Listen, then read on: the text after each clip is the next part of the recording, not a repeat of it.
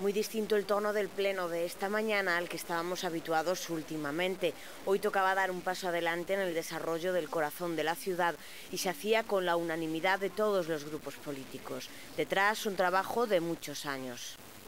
Moitísimas gracias a todos os meus compañeiros, de verdade é fantástico haber traballado nesto, que fixeron posible isto a anterior corporación toda.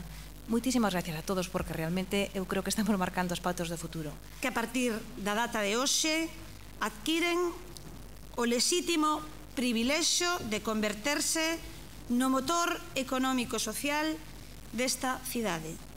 Hoxe comezamos unha outra andaina. Espero que todos e todas os que foron, os que somos e os que serán nos sintamos orgullosos de ter tomado esta decisión. A nós tocounos cambiar, tocounos mover ficha, tocounos convencer a Xunta eh, de que por encima de todo, como ben di Isabel, está o orensanismo e o mellor para Orense. Nos cambiamos de posición porque creíamos que era o mellor para a nosa cidade,